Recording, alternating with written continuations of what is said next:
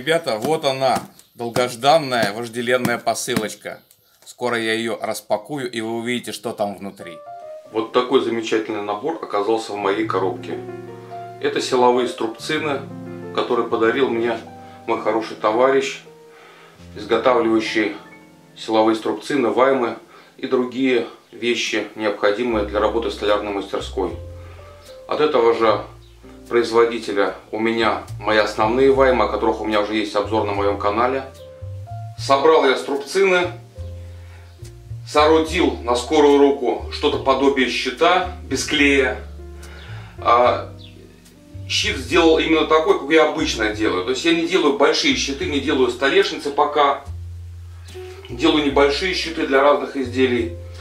И вот мне как раз вот для таких вот склейки таких щитов необходимы были силовые струбцины. Вы видели в моих предыдущих видео, что я для таких целей использовал самодельную э, деревянную вайму. Она не очень удобна, работает на клиньях. А, а вот такие вот струбцины, они позволяют гораздо быстрее и гораздо точнее позиционировать заготовки в щите. А какие плюсы и минусы а, у этих струбцин я обнаружил? Ну, а, из минусов для меня лично, это то, что винты новые, и они окрашиваются, окрашивают руки и, соответственно, могут и э, заготовки окрасить маслом. Соответственно, их нужно, наверное, протереть как следует и смазать чем-нибудь чистым, э, или просто чистой тряпкой вытереть, чтобы они были сухие. Ну или смазать каким-то маслом, которое не пачкается. Но я об этом еще буду подумать. Может быть, маслом камелии смажу, тем маслом, которым я рубанки э, смазываю обычно. Вот это вот а, минус номер один.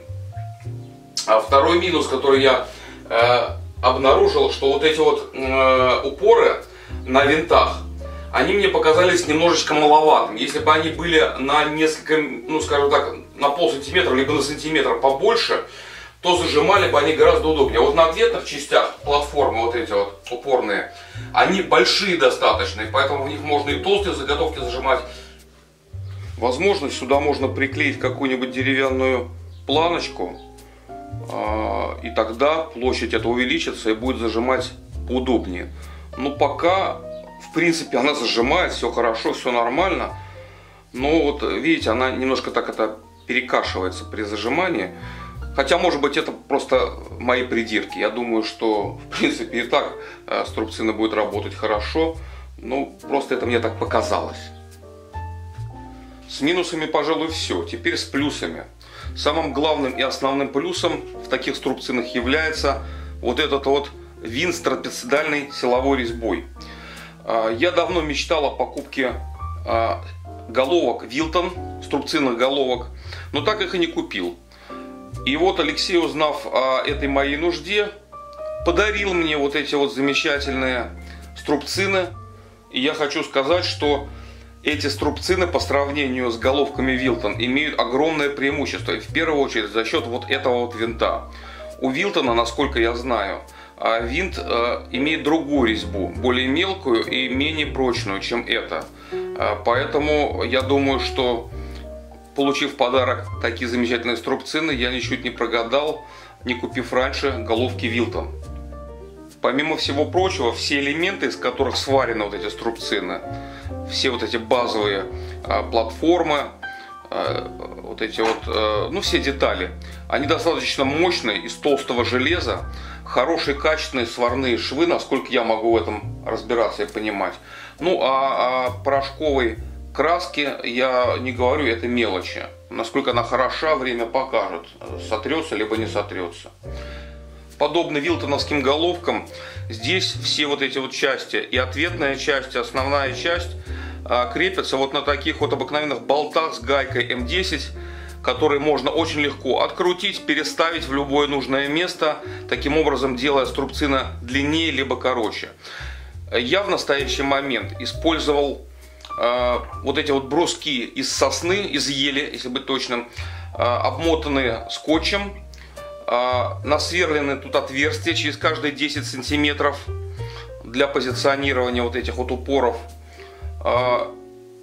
4 а, бруска у меня по метру и один брусок 80 а, сантиметров. Решил сделать его покороче, для того, чтобы посмотреть, ну, насколько мне нужны длинные.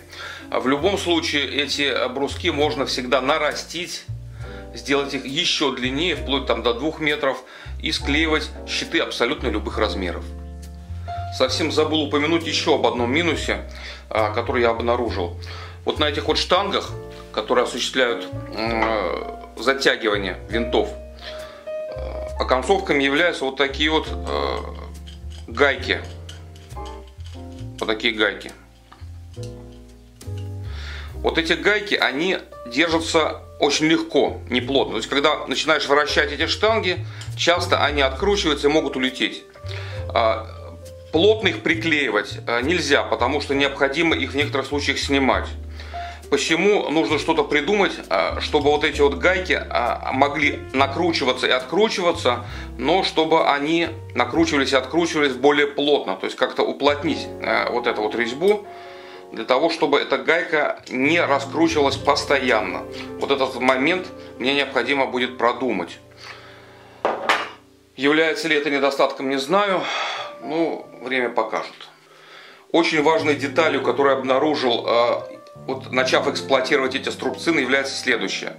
Вот эта вот часть, э, в которой вставляется штанга для вращения, здесь она выполнена в виде многоугольника как, как гайка. Таким образом, можно, сняв штангу, вращать с помощью гаечного ключа, затягивая либо ослабляя. Для чего это нужно? А если склеивать широкие большие щиты, и эти струбцины будут разнесены на довольно-таки большое расстояние, такое, чтобы вот эта вот штанга могла вращаться свободно, не задевая соседнюю, тогда проблемы нету. Но когда э, склеиваются небольшие щиты, как я обычно склеиваю, потому что я с большими щитами не работаю, а обычно маленькие склеиваю.